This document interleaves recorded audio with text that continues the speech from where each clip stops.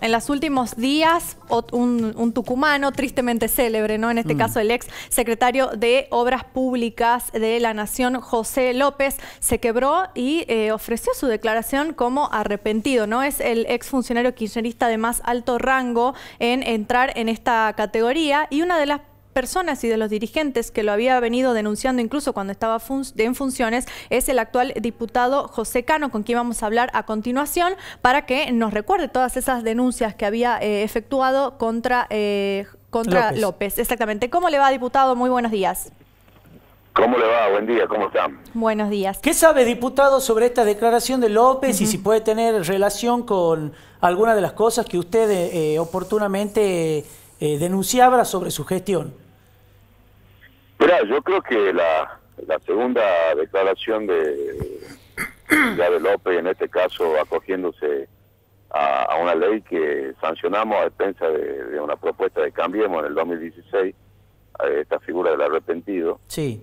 Eh, me parece que bueno que empezó a, digamos a declarar eh, con respecto a cuál era su rol en esta organización ilícita y de qué manera eh, esos, esos bolsos con 9 millones de dólares y todo lo que ahora está trascendiendo, no solamente López, sino a través de Uberti y de funcionarios, de, de exfuncionarios del, del Poder Ejecutivo Nacional, eh, ese entramado de, recaudación solamente en lo que tenía que ver con, la obra pública, eh, de qué manera tenía su relación o su correlato en cada una de las provincias. Claro.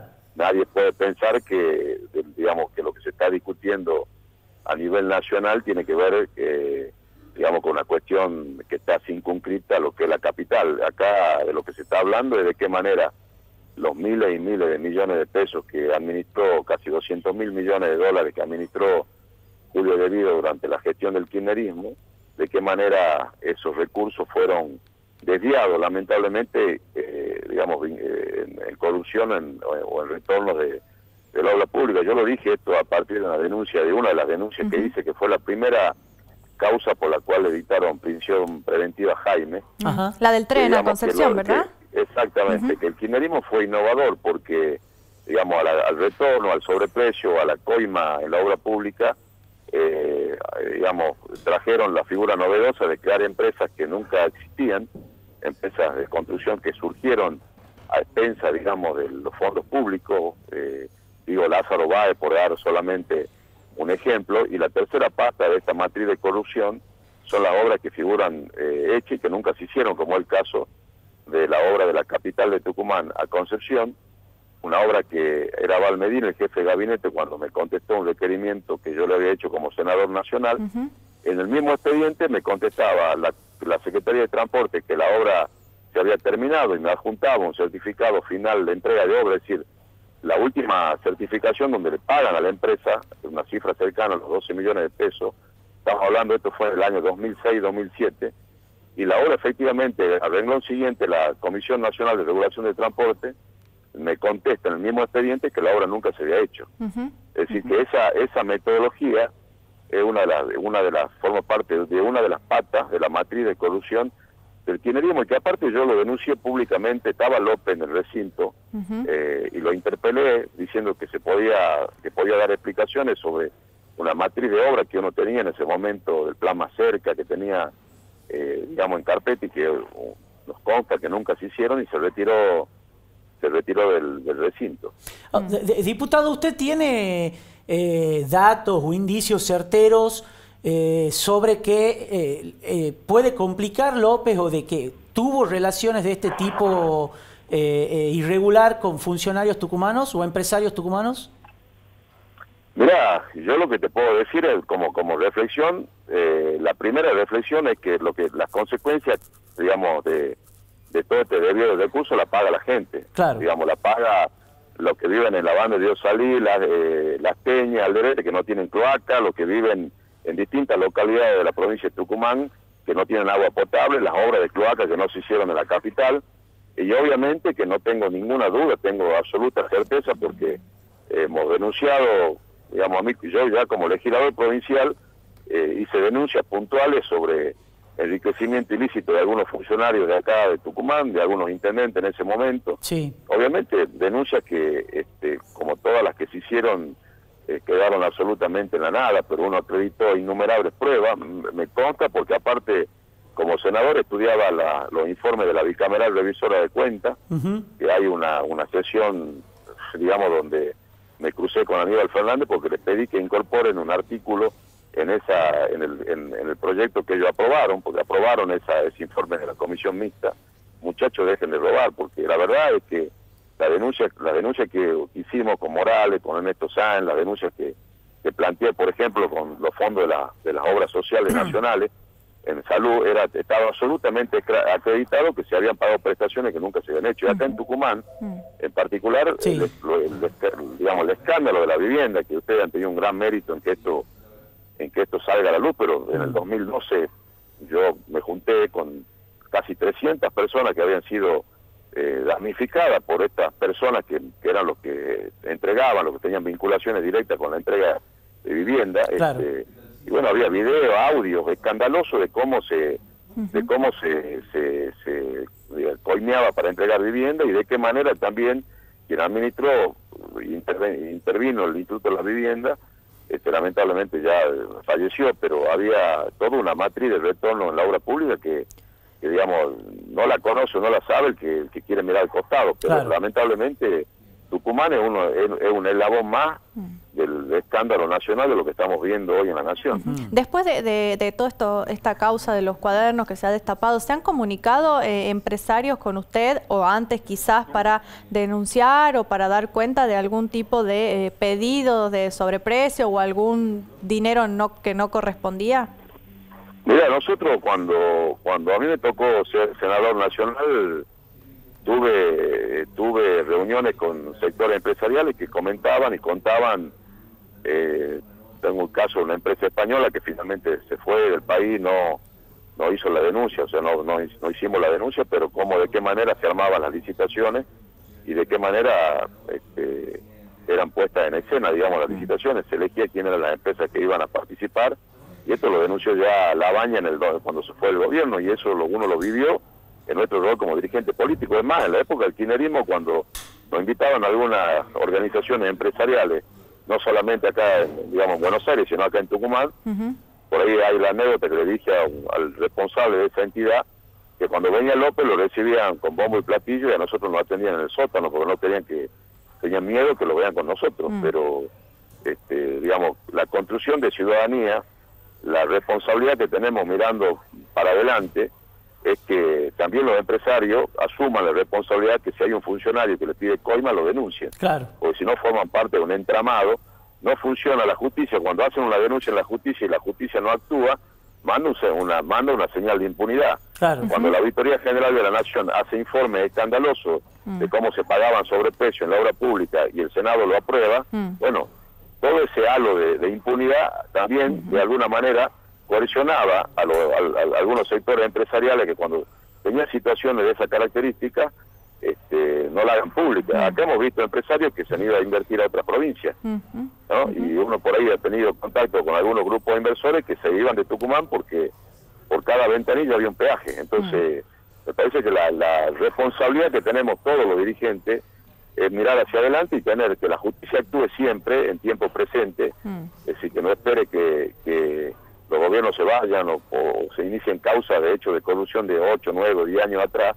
este, los organismos de control efectivamente funcionen, mm. porque acá hay otra cosa, los organismos de control en las provincias han avalado absolutamente de muchas de las obras que se han hecho, y yo me acuerdo ahora, porque no tengo, en algún momento me calificaron de denunciador serial, y uno paga las consecuencias de eso. hay pintada difamatoria, hay escrache, hay este, eh, eh, inventan causas diciendo esto no es gratis cuando uno pone pone el cuero y se enfrenta en momentos donde la mayoría de la dirigencia callaba. la ruta 39 atrás de la ruta 38 yo denuncié porque uno comparaba cuánto pagábamos el kilómetro acá y cuánto se pagaba en Salta y había se pagaba cuatro o cinco veces más. Claro, una obra que ha demorado casi una década en los distintos tramos, ¿no? Bueno, esa obra, la circunvalación de la ruta 9, el canal escandaloso de Alberdi, que a la primera lluvia se lo llevó puesto el agua, los puentes que se cayeron, la obra del Poder Legislativo de Tucumán, que el legislador Roble, el legislador Roble denunció y tuvo que llegar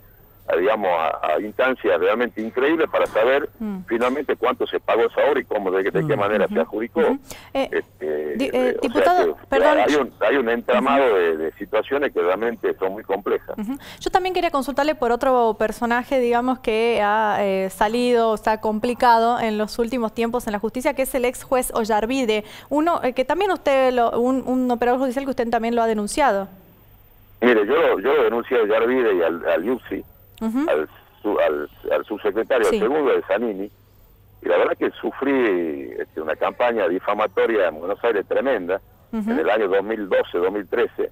Eh, después con el tiempo nos damos cuenta que lo que uno decía en ese momento, eh, yo en ese momento dije que Ollarvide era un juez que avergonzaba al Poder Judicial de la Nación. Ollarvide era uno de los elabones que garantizaba impunidad al, al Y Ollarvide frenó un allanamiento de una de una mutual eh, donde se lavaba donde se lavaba activos eh, eh, Papanor creo que era el, nombre si no, mal no recuerdo este, frenó porque el, dueño de la mutual de Grepi que era un, personaje que finalmente a los años se le allanó la, la se le encontraron eh, 15 millones de pesos en distintas cuentas casi 2 millones de dólares propiedades este, bueno, era íntimo amigo de Sanín y de, y de Liusi, mm. y, este, y el mismo juez de lo había, eh, había archivado en la causa por enriquecimiento ilícito de Liusi, que después finalmente la Corte, la, eh, son causas que, digamos, con el tiempo eh, todavía están vigentes, porque se, la Cámara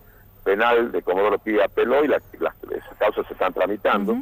y la verdad que, bueno, cuando, cuando uno acreditó la, todas las pruebas que teníamos en ese momento, que había hecho Yarvide, de, lo escandaloso que este personaje haya frenado un allanamiento y haya dicho que no fue al lugar porque estaba pasando un buen momento con personas agradables. Esa fue la respuesta, que de alguna manera marca la impunidad con la que este personaje y otros jueces y fiscales se manejaron durante durante el kirchnerismo. La contracara de eso mm. son los fiscales como Campañoli que sufrieron una persecución y un escarnio público tremendo, o, la, o el caso del, del, ex fiscal Nisman, digamos, pero honestamente no es solamente el retorno en la obra pública. Ha habido una matriz de enriquecimiento ilícito y de corrupción que tiene su, digamos, su, su correlato con lo que pasó en, cada, en, muchas de las provincias de la Argentina. Ahora, ahora una, una, una, una última consulta, diputado. ¿No, no, no, ¿No tiene pensado usted, no habló con la gente de Cambiemos de Tucumán, de hacer algún tipo de presentación o algo respecto de, de, de que formule algún tipo de requerimiento el juez sobre lo que pasó en Tucumán con la obra pública? Específicamente, eh, ahora que se está revisando, digo. Nosotros creo que no. Eh, acá lo que hay que, lo primero que hay que, garantizar y el gobierno nacional me parece que esto también hay que decirlo. López era vicepresidente del PJ tucumano. Claro. López era diputado nacional por diputado del Pala Sur por Tucumán. Entonces, si no hubiese ganado efectivamente Macri, hubiese ganado Scioli, estos personajes gozarían de una, de una impunidad absoluta y están presos. Entonces, me parece que el gobierno tiene que garantizar, como lo está haciendo, que el Poder Judicial actúe, actúe de manera absolutamente mm. independiente y no sobreactúe la situación. Obviamente que hay, también está claro que en la matriz de la corrupción de la obra pública, el 15% de la certificación de las obras nacionales este, la cobraba el empresario y la cobraba en el Ministerio de Debido y eso es lo que quedaba digamos, como parte de la coima. Estamos hablando de, del 15% el monto de una obra, realmente escandaloso. Claro, claro. Eh, y eso obviamente habrá que ver de qué manera eh, ese 15% se justifica o se justificó acá en Tucumán. Mm. Obviamente del presupuesto que no ingresaron a los municipios, que no ingresó a la provincia y que este, forma parte de una de las maneras en las que se, se, se coimeaba y se quitaba recursos que deberían haber ido para mejorar la calidad de vida de la gente mm. a los bolsillos, digamos, de quienes administraban esta organización ilícita. Gracias, diputado. Buen día. Eh, no, muchas gracias a usted. Hasta luego. El diputado José Cano hablando del caso López, novedades, y eh, según él está claro que eh, hubo en Tucumán eh, eh, funcionó en Tucumán esta matriz de recolección de dinero presuntamente para coimas que se está investigando en Buenos Aires. exactamente, y fue uno de los primeros en denunciar, inclusive cuando estaba en funciones, al ex secretario de eh, Obras Públicas, José López. ¿no?